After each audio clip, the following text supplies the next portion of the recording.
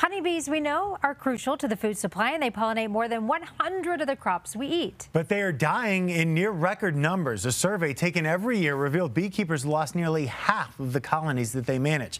It's the second highest death rate on record. It's caused by a combination of parasites, pesticides, starvation, and climate change. Photojournalist John Mason visited a woman who relies on bees for her business. I was a property manager for close to 20 years. Just discovered bees and I love it. So our lip balms that we make, and then we make soap.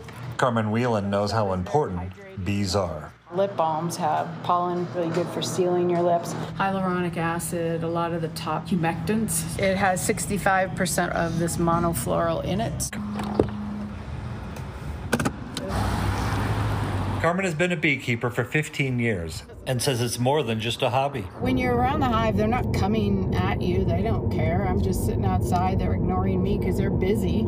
And she's spreading the word about how bees can help us all. That's about it. It calms the bees down. One worker bee will make close to about a quarter teaspoon of honey in her lifetime. Oh, this is beautiful. So when you're pulling gallons from a hive, that's thousands of bees, but it takes close to about 10,000 visits to flowers to make one gallon of honey. Come on, girls.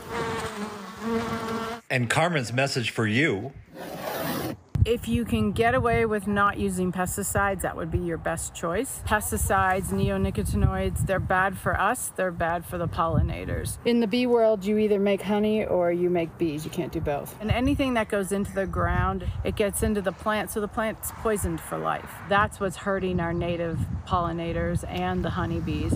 And in turn, we're eating the food, you know, that's you know, pollinated from this stuff that's been sprayed, and we're getting sick as well. Some bees are more aggressive than others. It's just in their genes, you know, just like some people are more aggressive than others.